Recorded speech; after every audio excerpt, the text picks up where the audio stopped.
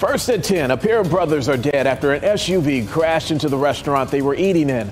Only on WRAL, we're hearing from a Hardee's employee who says they were in the restaurant when the whole thing happened. Good evening and thanks for joining us. I'm Julian Grace. Let's take a look at the damage that crash left behind. You can see the vehicle drove straight through the front of the window. WRAL's Leslie Moreno spent today working to learn more about the victims in this incident and speaking with people who were inside that SUV before it came crashing down. Julian, everyone I've spoken to is in shock after what they saw and heard this morning. You can see the damage here right behind me. All of those windows shattered when that SUV crashed into the restaurant. An employee I spoke with says the two brothers were sitting right there by that window eating breakfast when it all happened.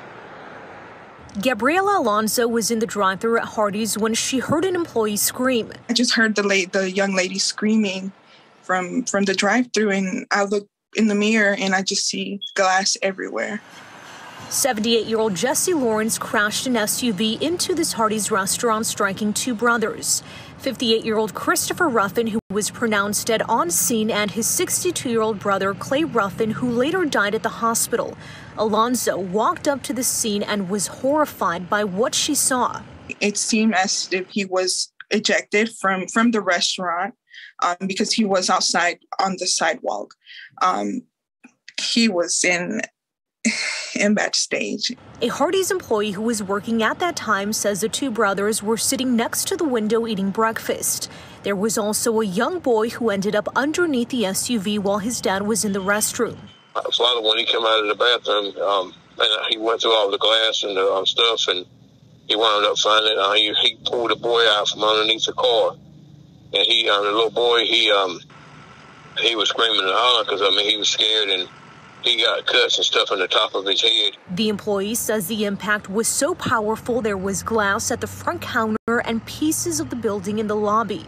The driver of the SUV was also transported to the hospital where he was treated and released.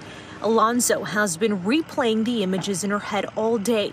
She says she almost ordered her food inside today as soon as I pulled in, this this could have been me. This could have been me in that accident. Officers are still investigating the incident, but they do not believe it to be medical or impairment related. Julian? Tributes already pouring in for the brothers on Facebook right now. Leslie Moreno reporting live in Wilson. Thank you.